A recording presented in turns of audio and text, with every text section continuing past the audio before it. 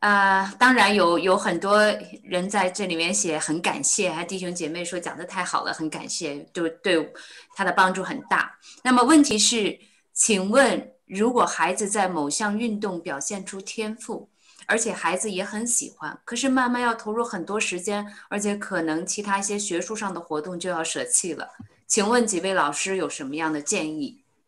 嗯，这很有趣啊，我可以先回答，因为我女儿。我大女儿就是从小打篮球打得非常好，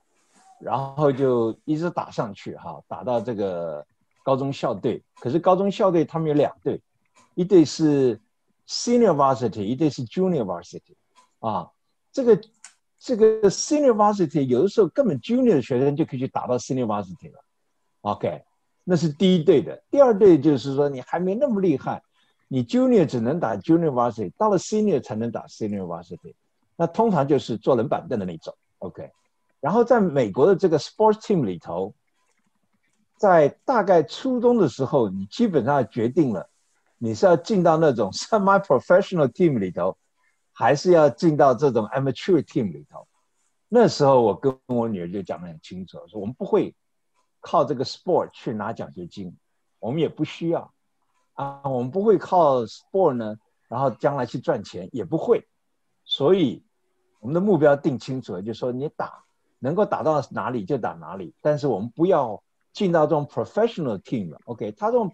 semi-professional team 就是每个礼拜要打两三次，每个周末还要到外头去打。OK，这种事情我们就不做了。所以我们的界限是画在这里。那只要大家同意就给，因为通常小孩子会同意的。你只要让他打，然后他在不好的队里头一直打到最好，一直是最好的 player，他很高兴，对不对？那大学那个高中生也会给他打到校队去的啊，不一定要进到那种 semi-professional team，因为美国那个 system 是为了 scholarship，为了省钱，有的是为了将来进 sport 去赚钱，OK，所以不需要。那另外一个就是我给你一个很好的一个例子啊，就是我一个弟兄的儿子打篮球打得很高兴，很喜欢，然后他说他要打 NBA，那他个子不高。那你做爸爸不能说他要去打 NBA，你不给他打嘛，对不对？那他爸就很有智慧，他说：“那有一天走，我们去看，去看那个篮球，职业篮球，Mary 打职业篮球。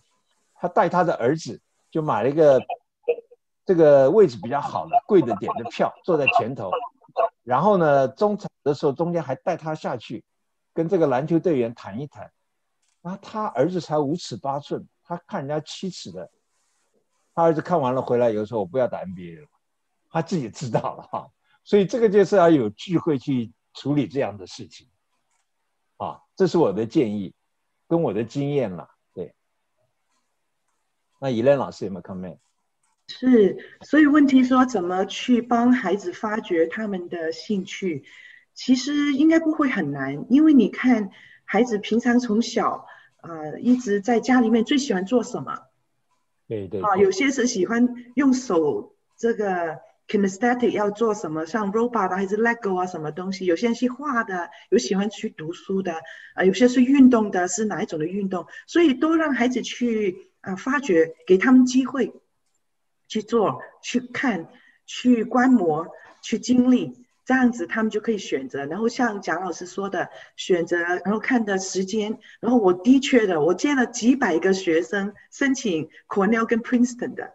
他们都是非常非常的忙碌，生活很充实，就是蒋蒋明老师所说的，他们都排得满满的，可是呢，很多也是基督徒，然后也看到说怎么去分配，这个是一个健康的孩子，这样子真的，他们。呃，我昨天晚上那个讲座时间管理，就是说每个人就是一个瓶子，我们的生命就一个瓶子，我们二十四个小时就一个瓶子，你要放什么东西，你把重要的事情、大石头都放进去了，你就没有空位放一些不重要的沙子跟水，浪费时间去玩游戏还是去。啊，做一些坏事，所以帮助孩子建立这些健康的习惯、兴趣，然后给他们去呃观摩式，然后也去 museum 啊，还去去哪里的看不同的游戏啊，然后让他们去选择。嗯，对。那我想有个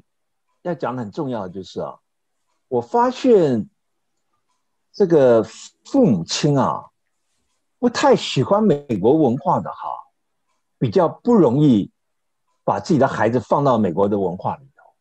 这点我觉得是很重要。所以父母亲要不停的很有 curiosity 要去接触美国的文化，不要说吃中国饭，跟中国朋友讲话，然后看中国报纸，然后看中国的网站，你完全没有知道美国的文化，那你不出去，永远学不到。那你学不到，你的孩子就学不到。所以我觉得说，父母亲一定要走出去接触美国的文化啊。那我看到很多这个喜欢走出去、喜欢这个接触美国文化的孩子，他们也是比较能够融入这个社会，也不会被人家看觉得说怪怪的。因为通常中国人就是只要读书好就可以，OK。然后有的时候大学毕业了还被人家笑，很多中国的女孩子都笑中国男孩子说。是妈妈是 baby，OK，妈妈是 baby，所以这个都不是很好的情形了哈。所以放手，让他们往前走，放手让他们往前走，然后不要只注意这个 academic accomplishment。我给你举个例子，像我女儿的 com 呃 academic accomplishment 是大概前面百分之十吧哈，可是因为她是这个 sports team 的校队，那对她申请学校就差很远。因为你要做校队，不是随便可以做的，要一直坚持，一直坚持。那人家喜欢这样的人，家说哦，学他能力有，证明他有能力有。可是我不知道他是不是有这个耐力。那可是因为他打了这个校队，就知道他有耐力，所以这个加起来，其实进到好的学校还是很好，还是有帮助的。OK，反正我们下次还会再。